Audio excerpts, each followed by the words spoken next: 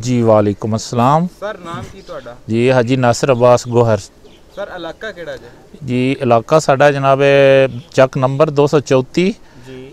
ਤਹਿਸੀਲ ਭਵਾਨਾ district Chiniot ਪਿੰਡ ਦਾ ਨਾਮ ਕੀ ਜੀ? ਜੀ ਚੱਕ ਨੰਬਰ 234 ਕਾਨਿਆਂ ਵਾਲੀ ਸਿਪਰਾਵਾ ਸਰ ਮਾਸ਼ਾਅੱਲਾ ਬੜਾ ਅੱਛਾ ਤੁਸੀਂ ਇਹ ਨਿਜ਼ਾਮ ਬਣਾਇਆ ਹੋਇਆ ਘੋੜਿਆਂ ਦਾ। ਬੜੇ ਅੱਛੇ ਖੂਬਸੂਰਤ ਕਮਾਲ ਦੇ ਜਾਨਵਰ ਰੱਖੇ ਹੋਏ ਨੇ। ਕਿੰਨੇ ਕੁ ਅਰਸੇ ਤੋਂ ਰੱਖੇ ਹੋਏ ਨੇ? ਇਹ ਜਨਾਬ ਸਾਡੇ ਪਰਦਾਦਾ ਤੋਂ ਜਨਾਬ ਆ ਰਹੀ ਹੈ ਮਤਲਬ ਘੋੜਿਆਂ ਦਾ ਸ਼ੌਕ ਵੀ ਔਰ ਸਾਡੇ ਦਾਦਾ ਅਬੂ ਮੇਰੇ ਵਾਲਿਦ ਸਾਹਿਬ ਫਿਰ ਅੱਗੋਂ ਅਸੀਂ ਚੌਥੀ ਪੁਸ਼ਤ ਵਿੱਚ ਜਨਾਬ ਇਹ ਸ਼ੌਕ ਆਇਆ ਸਾਡੇ ਕੋਲ ਜਨਾਬ। ਸ਼ੁਰੂ ਤੋਂ ਆ ਇੰਨੇ ਘੋੜੇ ਹੀ ਆ ਰਹੇ ਨੇ ਜਾਂ ਤੁਸੀਂ ਕੋਈ ਥੋੜੇ ਜਾਂ ਜ਼ਿਆਦਾ ਜੀ ਸ਼ੁਰੂ ਤੋਂ ਬਲਕਿ ਸਾਡੇ ਪਰਦਾਦਾ ਔਰ ਦਾਦਾ ਅਬੂ ਕੋਲ ਜ਼ਿਆਦਾ ਸਨ। ਜੀ। ਫਿਰ ਸਾਡੇ ਵਾਲਿਦ ਸਾਹਿਬ ਨੇ ਕੁਝ ਵਿੱਚ ਘੋੜੇ ਕੰਮ ਕੀਤੇ ਸਨ। ਲੇਕਿਨ ਅਸੀਂ ਦੁਬਾਰਾ ਫਿਰ ਆਪਣੇ ਸ਼ੌਕ ਨੂੰ ਉਸ ਜਗ੍ਹਾ ਤੇ ਲੈ ਆਂਦਾ ਜੀ। ਜਿਹੜੀ ਤੁਹਾਡੇ ਕੋਲ ਬਰੀਡ ਹੈ ਜਿਹੜੀ ਬ੍ਰੈਡ ਲਾਈਨ ਹੈ ਆ ਤੁਹਾਡੇ ਕੋਲ ਘਰ ਦੀ ਹੀ ਹੈ। ਇਹ ਜਨਾਬ ਸਾਡੇ ਇਲਾਕੇ ਦੀ ਇੱਕ ਬਹੁਤ ਬੜੀ ਬਲੱਡ ਲਾਈਨ ਹੈ ਜੀ। ਬਰਾਲ ਬਰਾਲ ਬਲੱਡ ਲਾਈਨ ਬਹਾਦਰੇ ਬਰਾਲ ਵਾਲੀ ਨਸਲ ਸੱਦੇ ਨੇ ਜੀ। ਇਹ ਸਾਡੇ ਸਾਰੇ ਘੋੜੇ ਜਨਾਬ ਉਹ ਬਰਾਲ ਬਲੱਡ ਲਾਈਨ ਦੇ ਵਿੱਚ ਹਨ ਜੀ। ਨਸਲੀ ਇਤਬਾਰ ਨਾਲ ਇਹਨਾਂ ਨੂੰ ਦੇਸੀ ਕਿਹਾ ਜਾਏਗਾ ਜਾਂ ਕਿ ਇਹਨਾਂ ਦਾ ਕੋਈ ਹੋਰ? ਜੀ ਇਹ ਦੇਸੀ ਨੇ ਜਨਾਬ ਔਰ ਜੋੜੇ ਦੀ ਨਸਲ ਇਹਨਾਂ ਨੂੰ ਸੱਦੇ ਨੇ ਜੀ।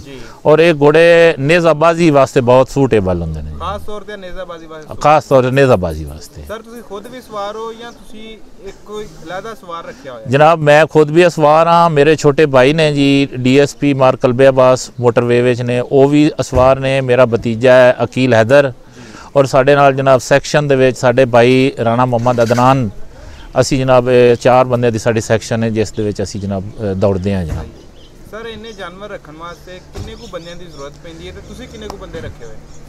ਇਹ ਜਨਾਬ ਹਰ ਦੋ ਘੋੜਿਆਂ ਵਾਸਤੇ ਇੱਕ ਬੰਦਾ ਚਾਹੀਦਾ ਹੈ। ਔਰ ਮੇਰੇ ਕੋਲ ਮਾਸ਼ਾਅੱਲਾ ਜੀ ਤਿੰਨ ਬੰਦੇ ਨੇ ਜਿਹੜੇ ਮੇਰੇ ਕੋਲ 6 ਘੋੜੀਆਂ ਨੇ ਜੀ ਔਰ ਪੰਜ ਘੋੜੇ ਨੇ ਜੀ।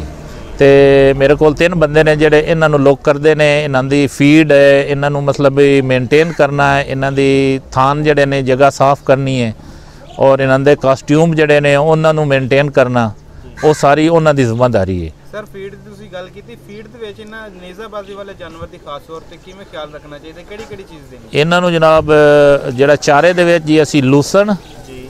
ਔਰ ਗਰਮੀਆਂ ਦੇ ਵਿੱਚ ਲੂਸਣ ਔਰ ਚਰੀ ਦਾ ਮਿਕਸ ਟੋਕਾ ਪਾਉਂਦੇ ਆ ਔਰ ਦੂਸਰੀ ਫੀਡ ਜਿਹੜੀ ਹੈ ਜੀ ਮਿਨਰਲ ਜਿਹੜੀ ਹੈ ਉਹਦੇ ਵਿੱਚ ਅਸੀਂ ਇਹਨਾਂ ਨੂੰ ਜੌ ਔਰ ਚੌਕਰ ਔਰ ਹਰ ਘੋੜੇ ਨੂੰ ਡੇਲੀ ਦੋ ਛਟਾਂਕ ਸਰਸੋਂ ਦਾ ਤੇਲ ਜਿਹੜਾ ਹੈ ਇਹ ਗਰਮੀਆਂ ਵਿੱਚ ਔਰ ਸਰਦੀਆਂ ਵਿੱਚ ਜਿਹੜਾ ਤਿਲਾਂ ਦਾ ਤੇਲ ਜਿਹੜਾ ਹੈ ਜੀ ਉਹ ਦੇਈਦਾ ਜਾਂ ਇਲਸੀ ਦਾ ਤੇਲ ਦੇਈਦਾ ਸਹੀ ਠੀਕ ਹੋ ਗਿਆ।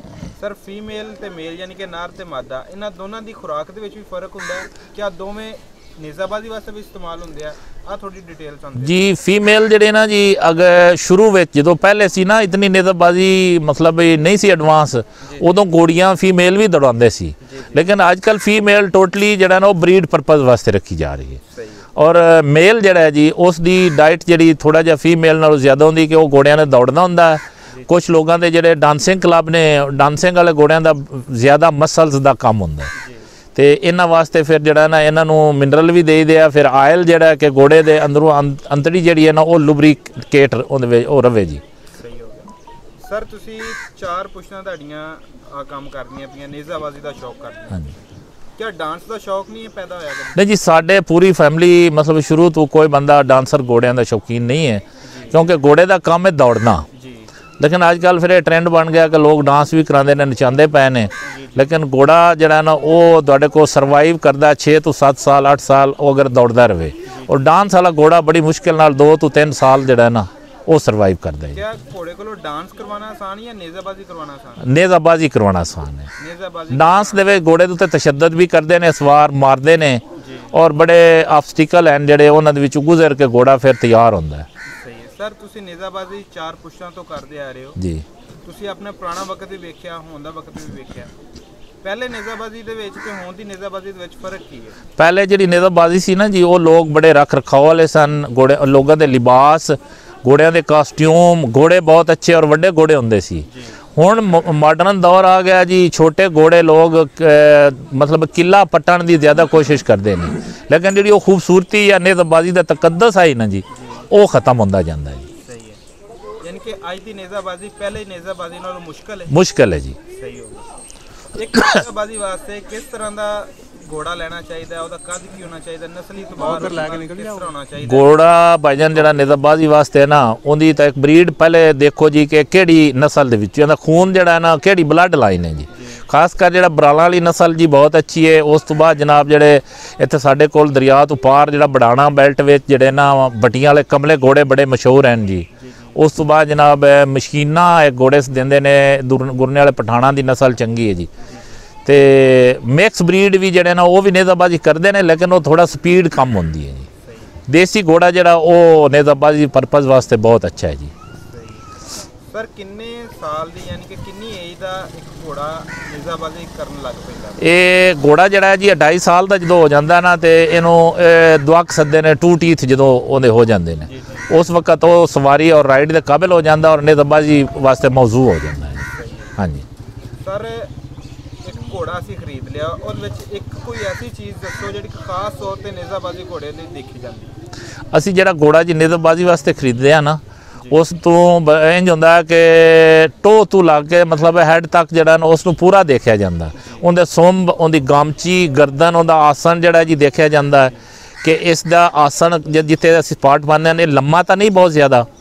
ਜਿਸ ਘੋੜੇ ਦਾ ਆਸਨ ਛੋਟਾ ਹੋਵੇ ਤੰਗ ਹੋਵੇ ਮਤਲਬ ਬੜੀ ਮੁਸ਼ਕਿਲ ਨਾਲ ਸਪਾਟ ਪਵੇ ਉਹ ਨੇਜ਼ਾਬਾਜ਼ੀ ਵਾਸਤੇ ਬਹੁਤ ਰੀਜ਼ਨੇਬਲ ਘੋੜਾ ਹੁੰਦਾ ਤੇ ਕਿਹੜੀ ਚੀਜ਼ ਹੈ ਜਿਹਨੂੰ ਵੇਖ ਕੇ ਘੋੜਾ ਨਹੀਂ ਲੈਣਾ ਚਾਹੀਦਾ? ਉਹ ਘੋੜਾ ਨਹੀਂ ਨਿਜ਼ਾਬਾਜ਼ ਅਹ ਨਿਜ਼ਾਬਾਜ਼ੀ ਵਾਸਤੇ। ਮਤਲਬ ਜਿਹਨਾਂ ਘੋੜਿਆਂ ਦੀ ਗਾਮਚੀ ਬਹੁਤ ਜ਼ਿਆਦਾ ਲੰਬੀ ਹੁੰਦੀ ਏ ਉਹ ਜਦੋਂ ਘੋੜੇ ਦੌੜਦੇ ਨੇ ਜਾਂ ਚੱਲਦੇ ਨੇ ਨਾ ਤੇ ਉਹ ਇਸ ਤਰ੍ਹਾਂ ਲਫਾਰਾ ਦਿੰਦੇ ਨੇ ਵਿੱਚ। ਮਤਲਬ ਫਲੈਕਸੀਬਿਲਟੀ ਜ਼ਿਆਦਾ ਹੁੰਦੀ ਏ। ਔਰ ਉਹ ਬਹੁਤ ਜਲਦੀ ਘੋੜਿਆਂ ਦੇ ਨਾ ਮੁੱਠੇ ਜਿਹੜੇ ਬਹਿ ਜਾਂਦੇ ਨੇ। ਉਹ ਘੋੜੇ ਨਹੀਂ ਮੌਜੂ ਹੁੰਦੇ। ਜਿਹੜਾ ਛੋਟੀ ਗਾਮਚੀ ਵਾਲਾ, ਚੌੜੇ ਸੁੰਬ ਵਾਲਾ ਘੋੜਾ, ਉਹ ਮਸਲਾ ਮਤਲਬ ਜਿਹਦਾ ਸੀਨਾ ਜ਼ਿਆਦਾ ਹੈ, ਗਰਦਨ ਲੰਮੀ ਹੈ, ਉਹ ਖੂਬਸੂਰਤੀ ਵੀ ਹੁੰਦੀ ਹੈ ਔਰ ਉਹ ਘੋੜੇ ਪਾਵਰਫੁਲ ਵੀ ਹੁੰਦੇ ਨੇ। ਸਰ ਸਰ ਦੱਸੋ ਕਿ ਨਿਜ਼ਾਬਾਜ਼ੀ ਸ਼ੌਕ ਵਾਸਤੇ ਕਿਆ ਸਵਾਰ ਦਾ ਵੀ ਉਨਾ ਹੀ ਕਿਰਦਾਰ ਹੈ ਜਿੰਨਾ ਕਿ ਘੋੜੇ ਦਾ?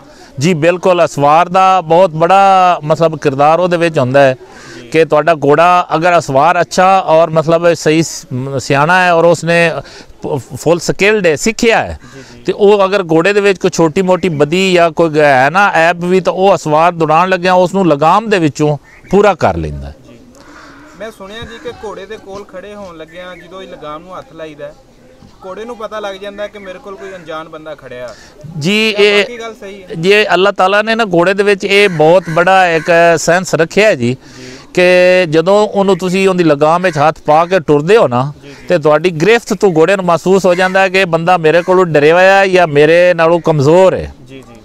ਉਹ ਬਿਲਕੁਲ ਉਸ ਦੇ ਵਿੱਚ ਅੱਲਾਹ ਤਾਲਾ ਨੇ ਇਹ ਸੈਂਸ ਰੱਖਿਆ ਹੈ ਅੱਛਾ ਜੀ ਬਹੁਤ ਸਾਰੀਆਂ ਗੱਲਾਂ ਹੋ ਗਈਆਂ। ਤੁਸੀਂ ਸਾਨੂੰ ਇੱਕ ਆਹ ਗੱਲ ਦੱਸੋ ਕਿ ਇਸ ਸ਼ੌਕ ਦੇ ਵਿੱਚ ਸਭ ਤੋਂ ਮੁਸ਼ਕਲ ਗੱਲ ਕਿਹੜੀ ਹੈ? ਮੁਸ਼ਕਲ ਕੰਮ ਕਿਹੜਾ ਹੈ, ਜਿਹਦੀ ਤੋਂ ਸ਼ੌਕ ਲੋਕ ਛੱਡ ਦਿੰਦੇ ਨੇ। ਭਜਨ ਮੁਸ਼ਕਿਲ ਸਭ ਤੋਂ ਵੱਡੀ ਗੱਲ ਇਹ ਹੈ ਕਿ ਘੋੜਿਆਂ ਨੂੰ ਰੱਖਣਾ ਸਾਂਭਣਾ ਉਹਨਾਂ ਦੀ ਫੀਡ ਉਹਨਾਂ ਦੀ ਸਫ਼ਾਈ ਉਹਨਾਂ ਦਾ ਜਿਹੜੀ ਜਗ੍ਹਾ ਤੇ ਤੁਸੀਂ ਬੰਨਦੇ ਹੋ ਜਿਹਨੂੰ ਅਸੀਂ ਨਾ ਪੰਜਾਬੀ ਵਿੱਚ ਥਾਨ ਸੱਦਦੇ ਜੀ। ਮਤਲਬ ਹੈ ਅਸਤਬ ਹਵਾਦਾਰ ਹੋਣਾ ਚਾਹੀਦਾ ਹੈ। ਲੋਕਾਂ ਨੂੰ ਸ਼ੌਕ ਬਹੁਤ ਜ਼ਿਆਦਾ ਹੈ ਲੇਕਿਨ ਇਹ ਸ਼ੌਕ ਹੁਣ ਆ ਗਿਆ ਅਮੀਰ ਲੋਕਾਂ ਦਾ। ਆਮ ਬੰਦਾ ਜਿਹੜਾ ਜੀ ਉਹ ਇੱਕ ਘੋੜਾ ਵੀ ਬੜੀ ਮੁਸ਼ਕਿਲ ਨਾਲ ਰੱਖ ਸਕਦਾ ਹੈ। ਜੀ। ਮਤਲਬ ਬਹੁਤ ਮਹਿੰਗਾ ਸ਼ੌਕ ਹੈ। ਯਾਨੀ ਕਿ ਇੱਕ ਨਾਰਮਲ ਬੰਦਾ ਇਹਨੂੰ ਕਰਨ ਵਾਸਤੇ ਮੁਸ਼ਕਲ ਉਹਦੇ ਵਾਸਤੇ ਪੈਦਾ ਹੋਇਆ। ਮੁਸ਼ਕਿਲ ਹੁੰਦੀ ਹੈ ਜੀ। ਤੇ ਬੜੀ ਮਿਹਰਬਾਨੀ ਹਾਜੀ ਸਾਹਿਬ ਤੁਸੀਂ ਸਾਨੂੰ ਬੜੀ ਅੱਛੀ ਮਾਲੂਮਾਤ ਦਿੱਤੀ। ਇਹਦੇ ਨਾਲ ਬਹੁਤ ਸਾਰੇ ਲੋਕਾਂ ਦਾ ਫਾਇਦਾ ਹੋਏਗਾ।